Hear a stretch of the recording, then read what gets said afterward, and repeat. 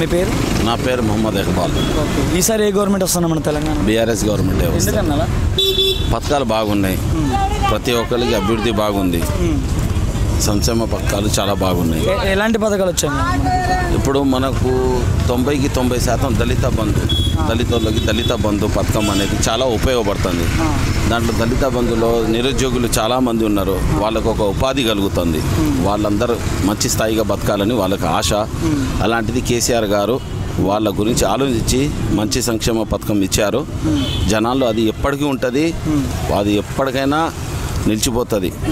జనాలు చాలా అభివృద్ధిగా చాలా మంచిగా బతుకుతారు. ఓకేనా? తెలంగాణలో ఇప్పుడు కాంగ్రెస్ పరిస్థితి ఎలా ఉంది? కాంగ్రెస్ పరిస్థితి ఏం లేదు బ్రదర్. కాంగ్రెస్ పరిస్థితి ఏం లేదు. కాంగ్రెస్ ఊహించున్నంత ఏం రాదు. వాళ్ళు తూతుమ్మర్ పైన పైన మాటలు తప్ప కాంగ్రెస్ ప్రభుత్వం ఎంత గట్టిగా ప్రయత్నం చేసుకున్నా కూడా కాంగ్రెస్ ప్రభుత్వం రాదు. బీఆర్ఎస్ ముందు కాంగ్రెస్ ప్రభుత్వం నిలవలేదు. ఓకే అన్న ఇప్పుడు మన కొత్తగూడెం నియోజకవర్గంలో ఎవరు వచ్చే అవకాశాలు ఎక్కువ ఉన్నాయి? మా వర్మ గారు. మా వర్మ గారు. మా వర్మ గారు ప్రతి పేద ఇంటికి ప్రతి ఒక్క విధంగా సాయం చేసుకుంటారు. ప్రతి ఒక్కరికి బీసీ బంధు చెందేలాగా చేశారు. ప్రతి ఒక్కరికి మైనార్టీ బంధు ఇచ్చారు. ముస్లిం సోదరులందరికీ మైనార్టీ బంధు వచ్చేలాగా చేశారు. ప్రతి ఒక్కరు బీసీ నాయకు బీసీ బంధువులకి అందరికీ ప్రతి ఒక్కరికి వాళ్ళకి బీసీ బంధు చెందేలాగా చేశారు. ప్రతి ఒక్కరు భేద పరగా ఎంతమంది భేదలు ఉన్నారో మా వన్మ గారు రావాలని చెప్పేసి మేము అందరూ మనస్ఫూర్తిగా కోరుకుంటున్నాం.